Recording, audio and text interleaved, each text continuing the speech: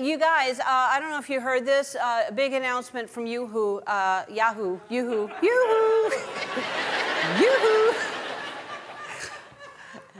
It's uh, Yahoo's changing to Yahoo. I think. Did it, did it almost start as Yahoo? No, always, always okay. Yahoo. Anyway, uh, Yahoo, you know what I'm talking about. Even if I said Yahoo, you'd know what I'm talking about. Uh, anyway, they made an announcement. Uh, Yahoo is, uh, you know Yahoo, right, everybody? You, yeah, it's like Google, but with yodeling, I think.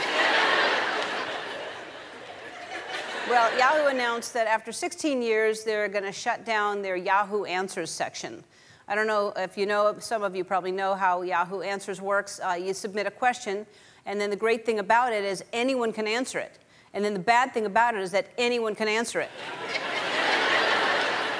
Why would you ask a question and not to an expert? Just anyone can answer it. So sometimes on Yahoo Answers would uh, that people would ask legitimate questions like how do you change a flat tire or, or what's the best way to remove grass stains, you know, or where do babies come from? Things we all are curious on how it works. Um, but a lot of the questions were much stranger than that, and since Yahoo Answers is going away, I thought we would take a look at some of the best questions that they've ever featured over the years.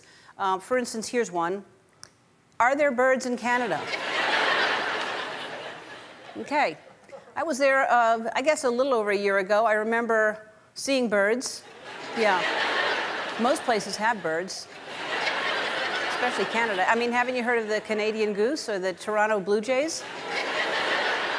You don't, you don't see, you know, the only bird you won't see in Canada is someone flipping the bird because they're so polite. You don't see that in Canada. Here's another question. If I eat myself, would I become twice as big or disappear completely? I understand the interesting thought. I, it's a thinker. But I have to say, please do not try to eat yourself. And uh, whoever wrote this question, stop eating pot brownies. You've had enough. Okay, here's a good one, too. So, my brother hasn't had his first period yet. Should I be worried? Okay. How old is your brother? Because if he's in between the ages of 0 and 120, that's perfectly normal. but yes, you should be worried that the education system is failing. Here's one more. Why do crocodiles walk so gaily? They look like they just got their nails done or something. gaily. I didn't know that was a way that uh, gay people walk, is gaily. And as a gay person, that is both offensive and hilarious. Um, maybe the crocodile you saw was gay. Did you ever think of that? Maybe it was a gay crocodile. By the way, a lot of people can't tell the difference between an alligator and a crocodile. Crocodile. crocodile. Uh, yoo-hoo.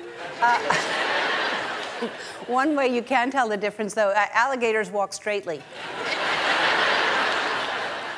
Okay, I'm going to stop talking because it's not working out right now. So I'm to, I'm just going to walk gaily over to my chair. Please give it up for Twitch.